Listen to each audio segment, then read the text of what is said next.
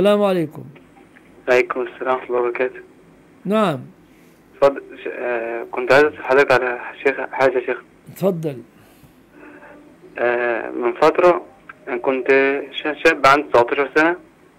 آه كنت مثلا ملتزم اللي هو التزام العامة. أيوه. فجيت فجيت لما ربنا هداني تعرفت على ناس كويسة واستقمت.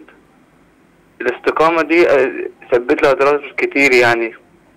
زي مثلا أهلي وحضرتك عارف بقى اللي هو إيه بدأت مثلا أنا اللي أشوفه أنكره اللي هو المنكر والمعروف أمر بيه وكده.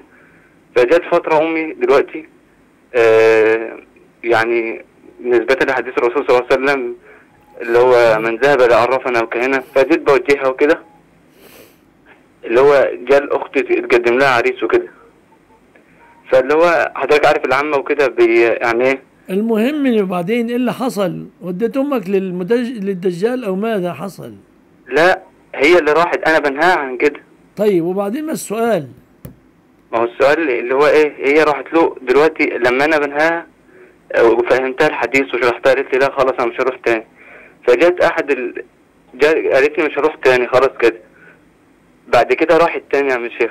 فأنا لما بقول لها دلوقتي هي بت... بت... يعني بتبهدلني بتشتمني فأنا دلوقتي يعني حد اقترح علي اقتراح إن أنا ممكن أسيب يعني أسيب لهم البيت فترة لحد ما يهدوا كده وحضرتك يعني نصيحة كأب مش كشيخ وربنا يحفظ حضرتك إن شاء الله.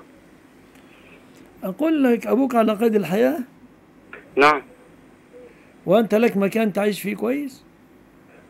يعني الحمد لله بشتغل وكافي نفسي. طيب عفوا. يعني إذا أنت خرجت البيت هيزعلوا يعني ولا إيه؟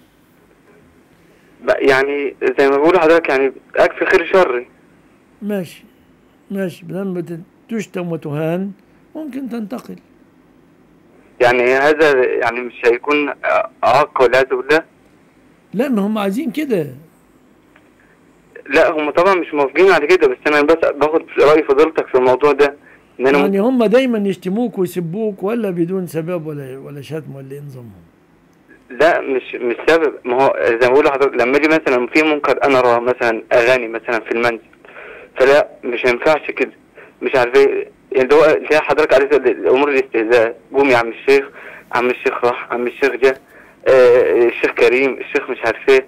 طيب سؤالي لك سؤالي لك بس يعني. تفضل. هل في منكرات بتؤثر عليك أنت نفسك؟ أيوه ما هو طبيعي إن هو في البيت مثلا أختي مثلا لما خطيبها أجيب لها موبايل مثلا. ففي أغاني في موسيقى. لا بلاش ده. فده يعني حضرتك فاهم يعني. أظن أن وجودك في البيت أفضل من إبتعادك لأنك وجودك تنكر. وبعدين جرب جرب أسبوع شوف إيه النتيجة شكلها إيه. لا فضيلتك تنصحني بإيه في الآخر برضه مثلا؟ ما هو إذا الآن جربنا وصبرنا شوية وبدأنا نوجه أحسن ما الشر ينتشر لأن أختك مخطوبة ولا إيه؟ أيوه لسه من فترة قريبة. ما هو ده كان سبب المشاكل. مخطوبة ولا مكتوب كتابها؟ لا خطوبة عادية. الخطيب بيجي يقعد معاها لوحدهم ولا إيه؟ لا الخطيب مسافر. خطيب زي مسافر على الموبايل. أيوه. وهي بتلخبط. مش بتلخبط. هي ما أنا زي ما بقول لحضرتك موضوع الموسيقى وموضوع المنكرات. وجودك في البيت هيقلل المفاسد شيئا ما. وإن جاهداك على أن تشرك بي من ليس لك به علم فلا تطعهما وصاحبهما في الدنيا معروف. ما دامت المعاصي لن تؤثر عليك بصورة شخصية.